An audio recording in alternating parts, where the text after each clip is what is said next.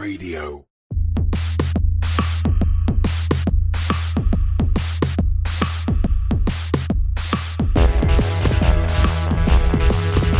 Hello, and welcome to Cryptocurrent, the only podcast to bring you beginner and advanced knowledge of cryptocurrency and blockchain, analyses of cryptocurrency markets, and discussions on growing a business within the crypto space. Stay tuned and stay cryptocurrent.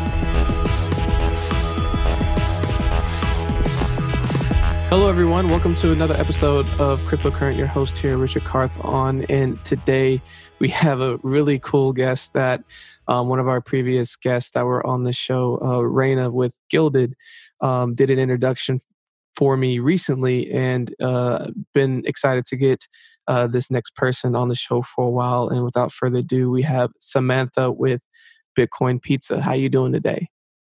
How's it going? I'm Uh, doing really well. And shout out, special shout out to Raina for introducing us.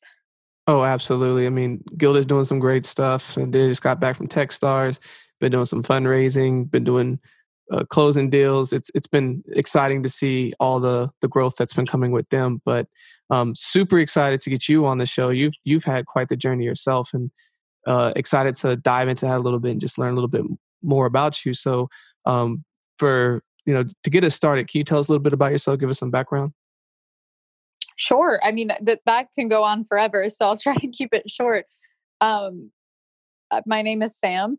Some people call me Sam Rad because my last name is actually Radocchia. It's a very complicated uh, Italian last name. So they, I got this nickname growing up where people would just pause and say I like it. Rad.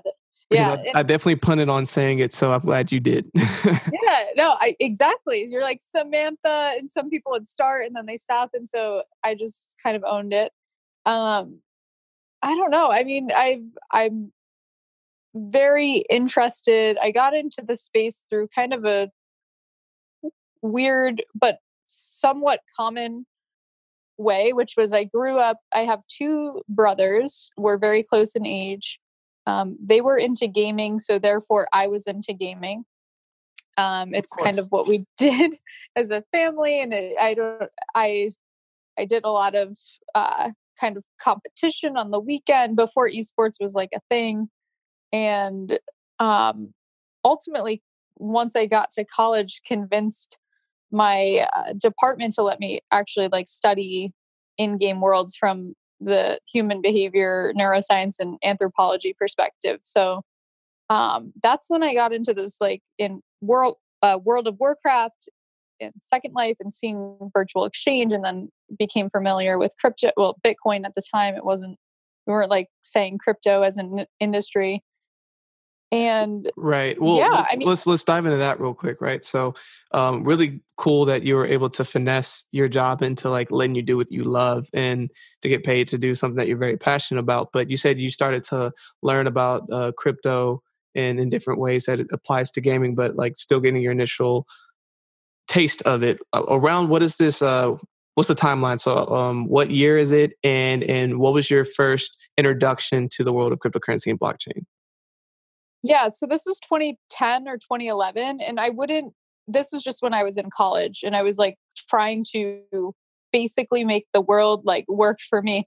I was like I want to study gaming and anthropology and they wouldn't let me and I got the you know the department to let me and then you know I was it was the middle of like the recession after 2008. So obviously the creation of Bitcoin happened but also from my perspective I'm like shit, I have a liberal arts degree no one's going to become journalists or lawyers or doctor like what's going on? So i Right. started a company. So at the same time that i became familiar with this kind of notion of i wouldn't even say crypto i'd say like digital assets and the fact that you could make money or make value like things that you know could have impacts in in the physical world in like a virtual or digital environment that's became when i became aware of it.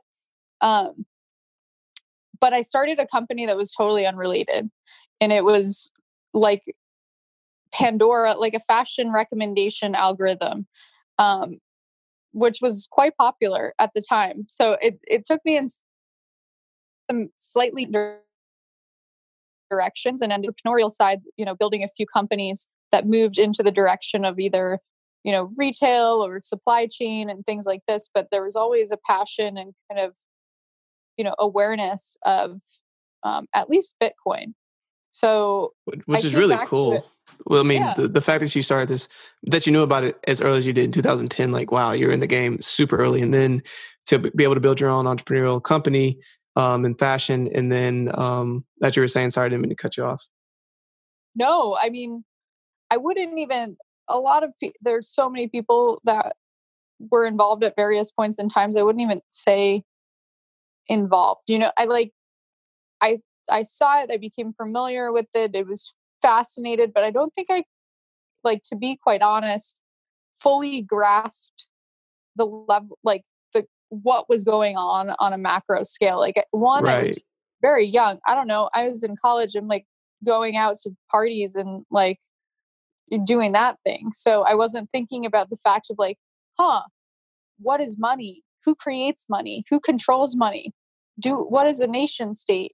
All these like really, really big questions that, you know, at the root of it, when you start to understand wh- why Bitcoin caught on when it did, even though other other similar projects were proposed earlier um, in cryptography and, and the term blockchaining has been around for quite some time.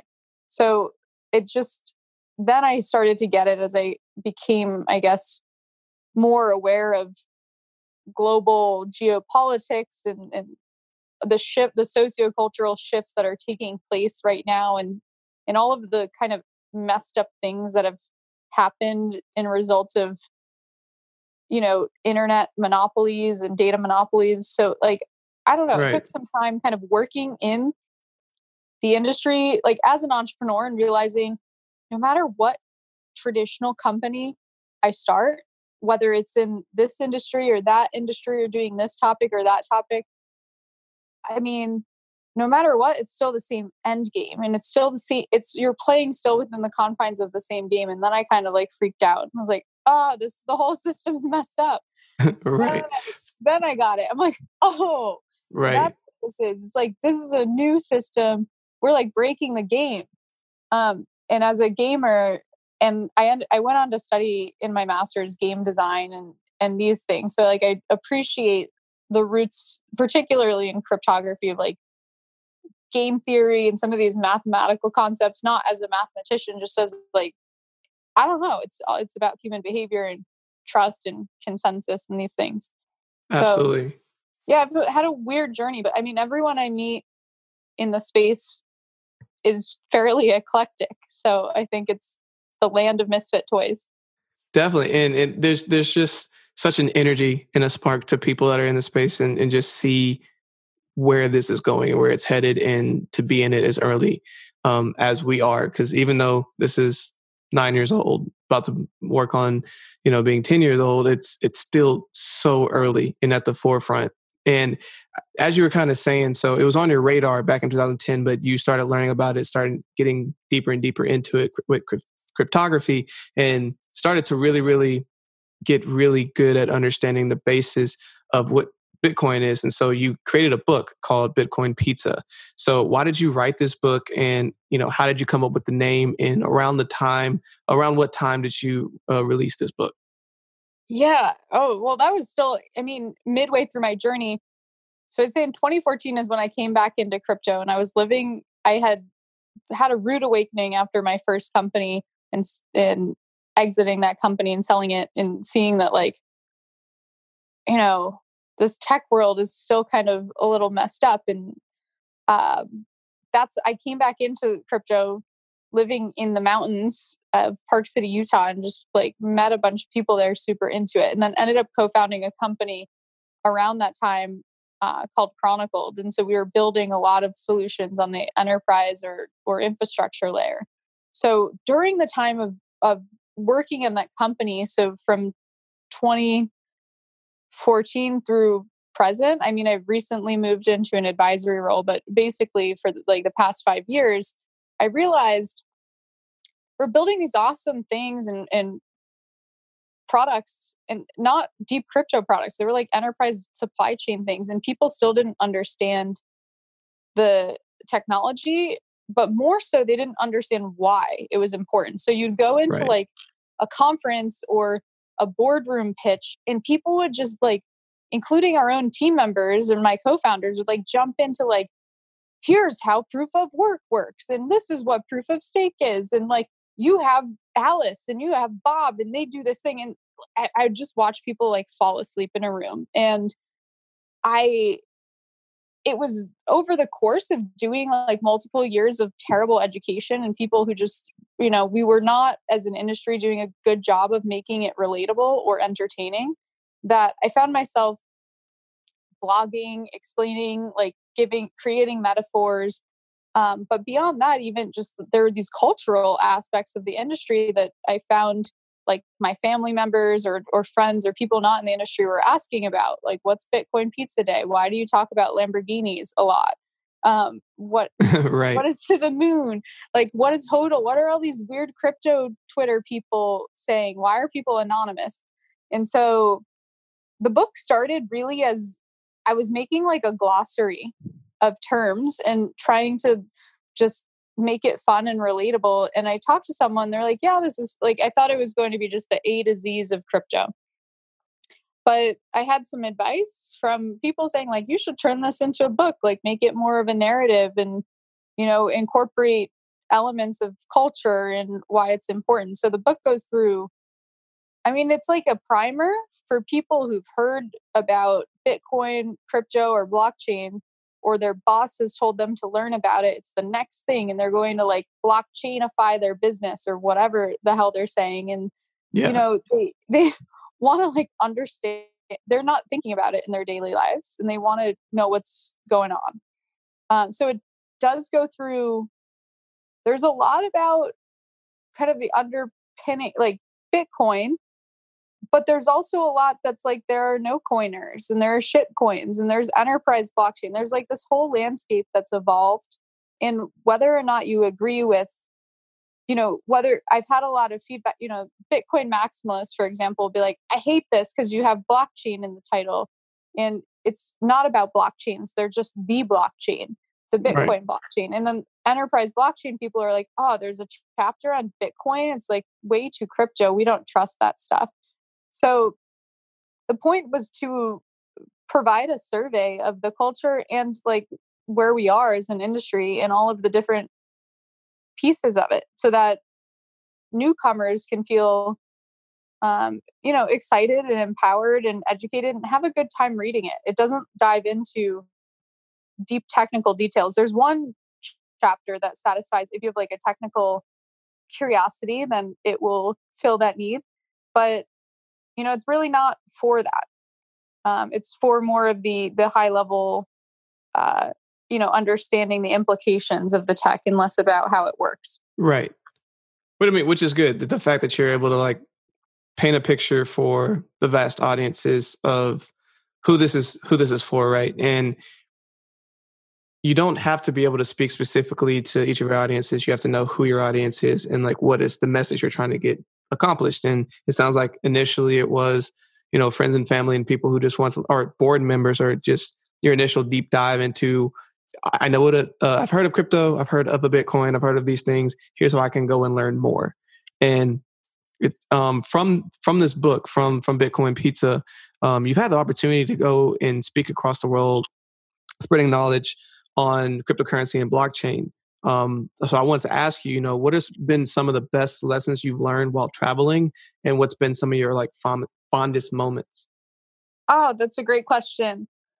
So, I mean, I typically I came into this, and the book has like a very strong argument in this direction of like, I think more about the high level concept of trust and decentralized trust and less less about so like we had centralized institutions and now it's moving that direction like of course blockchains are a manifestation of that bitcoin is a manifestation of it but it's impacting every industry education healthcare manufacturing you know you can basically find a way to see how that is impacting everything so the impacts that bitcoin or this notion um, of decentralization had in the world is profound and people are feeling it everywhere. So that is something I've learned.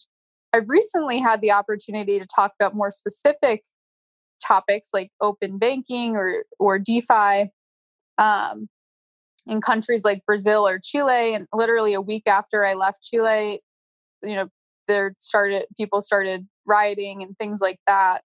Um, the interesting thing I found on the ground, like there, particularly in South America or like in Venezuela, is a lot of people here, you know, stateside, and myself included, like when Libra came out, uh, Facebook's Libra, you know, everyone here were like, oh, it's it's not it's maybe good for the ecosystem, but it's generally not good. We don't want Facebook managing this stuff. Like it's messed up. Yeah. Bitcoin only. And then you go on on the ground and i started asking people in venezuela like what do you think about it? And they're like we think it's great. It's better than what we have. And i was like wow i have such a sort of privileged view um you know of of these things. Uh and i've also met people who are like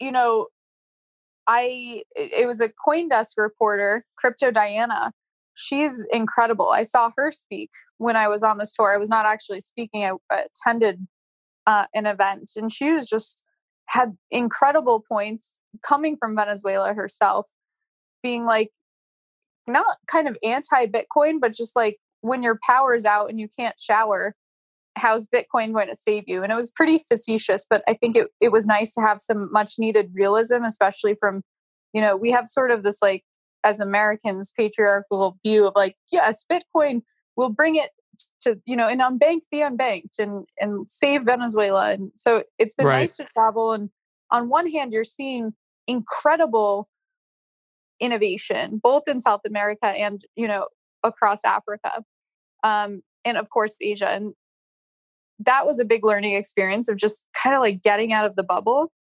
and also like I don't know, just like how big the divides are in terms of the the thinking of people in this industry and, and the fact that we are what I believe building the infrastructure for a better and more inclusive future that is a true that's taking into account globalized and connected society versus people who are just very entrenched in the way that things are working now and so, my previous company, I worked in supply chain. I saw a lot of messed up stuff of like you if you start tracking like where your cell phone comes from or where the food you eat comes from or where the the drugs you take pharmaceuticals like anything the farther you go up the supply chain you always find up find out like really messed up things like slavery yeah. human trafficking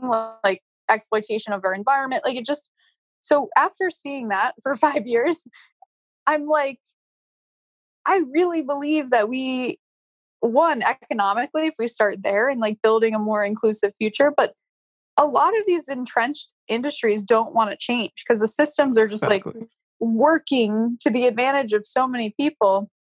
And I'm not the morality police. It's not my job to go out and say like what's right or wrong. I think we generally know there are like some universal things. And it makes me more passionate about it. So it's just, I've been amazed to see one, I have the benefit of having a platform where I, I get to be in rooms of people who are already halfway there. They're excited and eager to learn about a more abundant and different future, and they're ready to make change in their organizations or countries. Mm-hmm. Uh, I give two types of talks actually. There's like the groups of people who are there, and then there's like the hardcore privacy security like traditional industries and traditional industries i'm always just like oh my god i must seem like a whack job to these people uh, because they're just so deeply entrenched in the system that and i think they they have no desire to change. So it's been illuminating to say the least.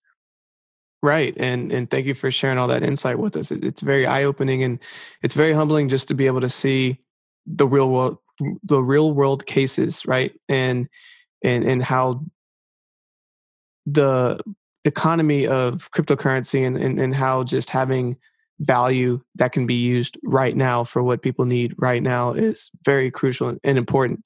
And in one of the points you were talking about of just a transparent future where I mean with putting things on the blockchain with the way that consensus has to happen and the the way that it's becoming more global, I think is moving in the right direction as well. And I think it is very important and is essential to the future of how the, the global economy works. Because quite frankly, yes, there's a lot of things wrong with it. Of course, there's things that work, but it's ultimately things already moving in a different direction. And I, for one, believe that cryptocurrency is a viable solution.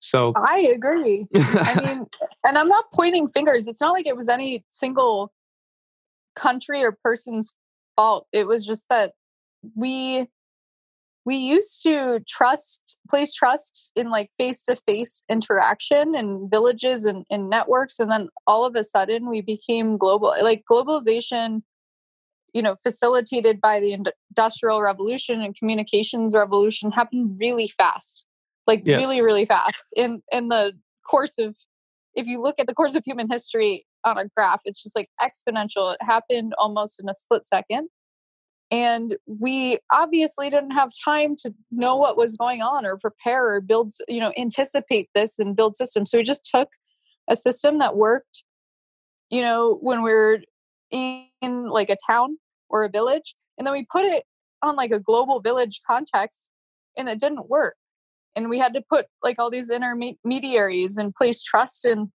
more and more institutions which made the problem worse. So again there's no fault like who we're all just you know learning along the way as people. Um, oh, but i think it's absolutely. incredible.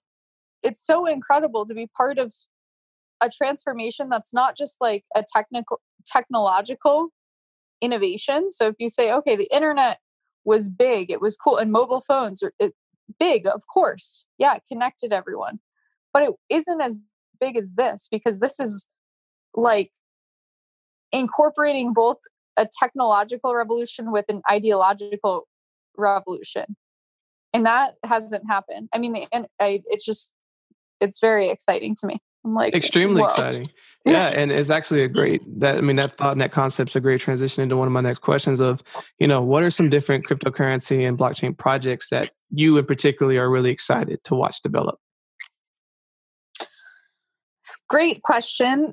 Uh, so again i think of it in two ways. There's decentralization, which are not necessarily, it's more of an idea of concepts that are decentralizing certain industries but you know maybe they're using a blockchain or distributed ledger maybe it's ai maybe it's some other thing. Right. Um so in that camp i'm really interested in ways that we're decentralizing healthcare or education. So let's say in education, I, when I was in Chile, I met someone. His his English was really great, and I'm like, "Where did you learn it?" And it wasn't in school. It was playing video games. It's like the Spanish translation sucks. I play this game in English, and now I learn English. So I'm like, why don't you get a language credit or certification, you know, something from that versus needing to go to some centralized institution, also known as a school? So right. that would be an example of like decentralized education. Uh, decentralized manufacturing. So instead of a factory, we have you know locally distributed, uh, you know, 3D printers or 3D knitters or medicine printers or food printers, vertical farms, um, instead of shipping stuff all over the world. So there's that camp, and then there's like the legit, like actually using a blockchain for something. Um, I'm really I came full circle because I spent some time in the enterprise world and I just I think solving the world's monetary challenges is a massive undertaking and probably the number one undertaking and a lot of problems can be solved by solving that. So of course very interested in you know the, the crypto angle and the infrastructure to support bitcoin and uh, you know accounting tools so talking about gilded you know my opinion on that is a lot of roadblocks to adoption on one hand it's education on the other hand it's just feeling comfortable or safe to transact like I'm not going to buy a coffee with this stuff if all if I think the government's going to come after me because I owe a bunch of taxes I didn't know how to account for. Um so and then also I'm not going to trust an accountant who doesn't know anything about crypto. So I think there's that side of like we're still building the infrastructure and then of course my you know my background in gaming I think uh, gaming is so much more than a game. It's how people are collaborating and living, especially remote work. So, I, you know, the example I give is like you and I are already existing in the digital realm. We probably spend most of our day in front, you know, interfacing through a computer or phone.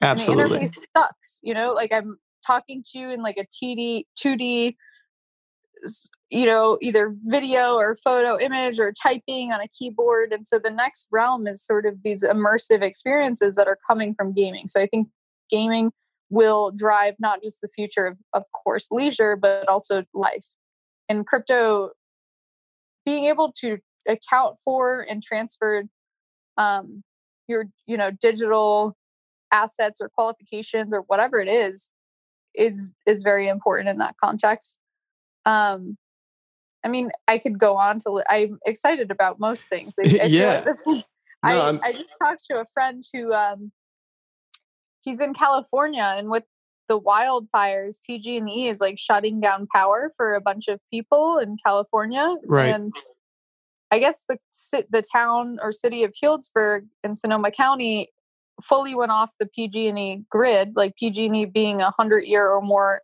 old like kind of institution or company who and built a grid that was completely centralized and i guess you can't turn off little sections of it so they yeah. they moved off of this grid and became totally like an experiment in decentralization for energy i think that's fantastic like great they have power the rest of this like that part of the state has power shut down so um you know i'm i'm excited again like whether i don't think healdsburg is running on a blockchain but if we imagine decentralization applying to areas of uh you know public services as well as like the corporate or private sector it's uh, all of them excite me absolutely and you you touched on so many great points that uh, for everybody listening i think you should go back and listen to there's there's just so much up and coming in so many ways that this space is going to be impacted in impacting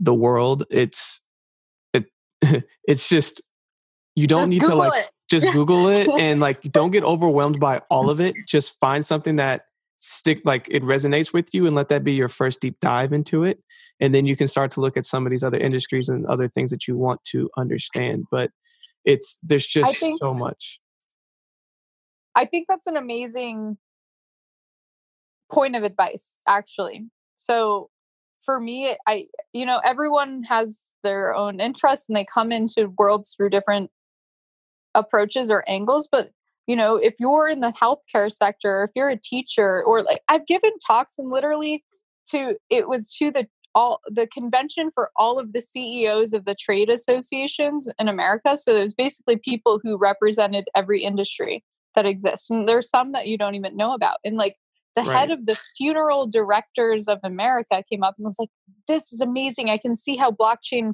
can impact my industry. And I was like, What? Number one, I've never even thought about you. Is it or like floriculture? right. Then the flower industry is talking to them, and I'm like, these this is crazy.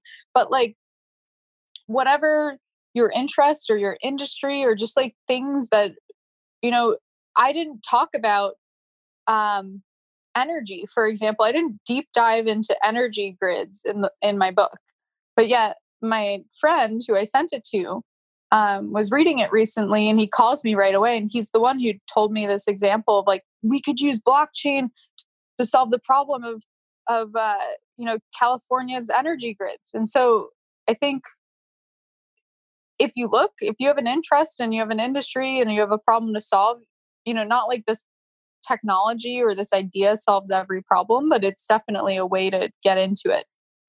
Oh, 100%. And I thank you for elaborating on that. And, and I think the biggest point that Sam's driving on right now, y'all, is find something that resonates with you and just start. And and and with that, Sam, thank you so much for for spending time with us and just dropping a plethora of knowledge on us. But before you leave, what is a final thought that you want to leave with everyone listening today? well, first of all, thank you for having me, and thank you for everyone listening for listening to our conversation or more of like my crazy ranting. I want to flip this and do an interview of you next time. gotcha. But um, I guess the bit of feedback that I have is to, I mean, we're all lifelong learners in this experience. No one's an expert. And even if you're new coming to the space, you're just as much of a student as I am. And so approach it with enthusiasm and, and optimism and stay humble. Uh, and yeah, like let's work together to build some stuff for a better future. Absolutely. And, you know, I think that's a great thing to end on. It's, it's, we're in a point of collaboration. We're in a point of getting something amazing and seeing it fly. And if you can get in sooner than later, you're going to be very happy that you did it. So, Sam, thank you so much again for for spending the time with us today, dropping all this knowledge. What are some different ways that people can connect with you um, that are listening? For sure. Uh, so, as with most crypto people, if you're new to the crypto space, there are, are a lot of people who hang out on Twitter. So on Twitter, I am at Samrad Official. And if you're into other social networks, that's also my handle on, on Instagram and Facebook and all the other things.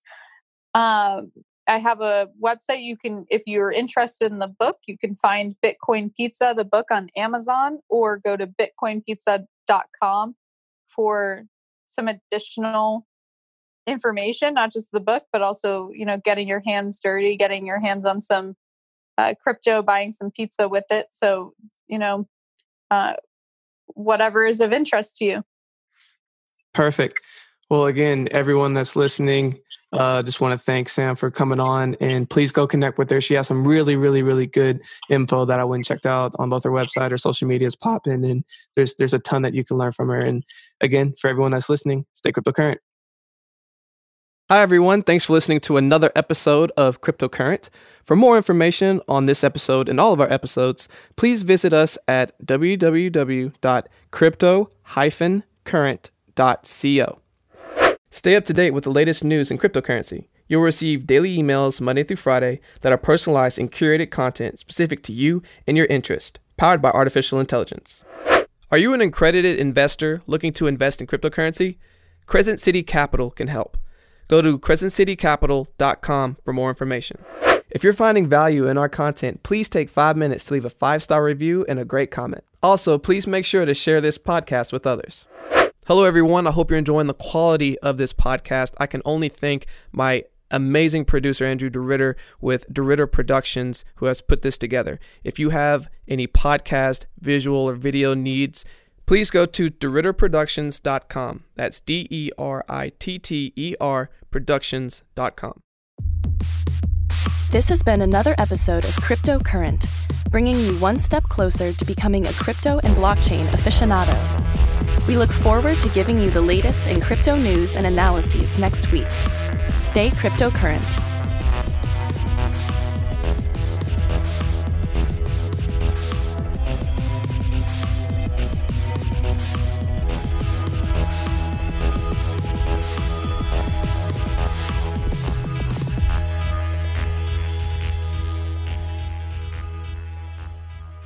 Please use available exits now.